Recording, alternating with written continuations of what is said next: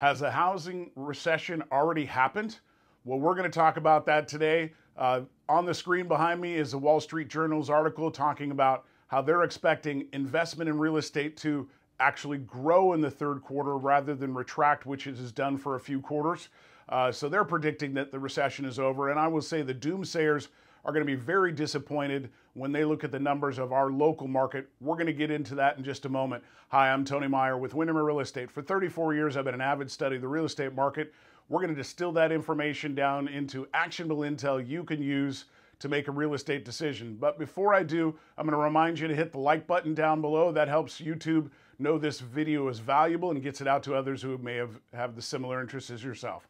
Uh, so we're going to talk about rates for sale and pending months of inventory, and median sales price.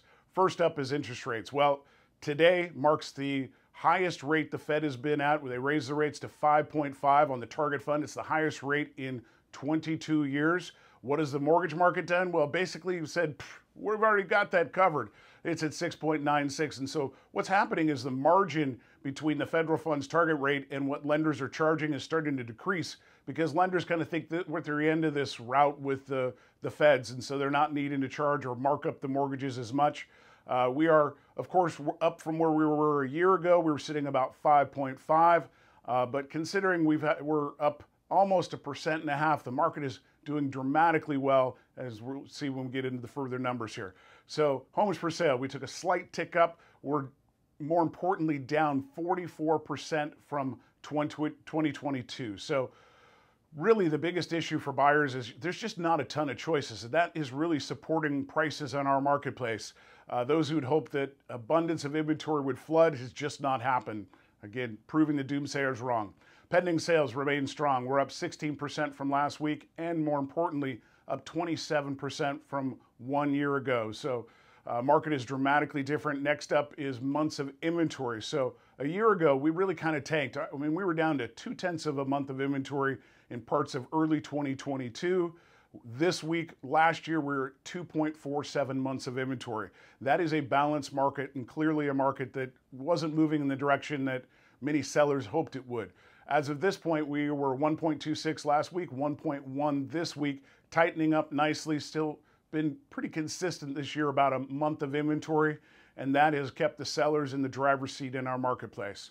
Uh, median price. Well, this marks the third week out of the last four that our median price exceeds what it was last year. So we are up a 5% from last week, up 21% from 2022. And this is really the uh, again, bad news for the doomsayers because the prices earlier this year had consistently been below where they were spring of 2022. But we really have turned the corner over that over the last couple months here and kind of flatten that out and now are starting to exceed that. So if you look at our local marketplace, yeah, the housing recession is already passed at this point. So if you've got questions about the market, we're here to help. Really appreciate it if you'd hit the like button down below subscribe, leave us a question or a comment down below. Hopefully you found this video of interest and you share it with your friends. If you uh, want to be in touch with our future updates, make sure you subscribe and we'll talk with you again next week. Take care.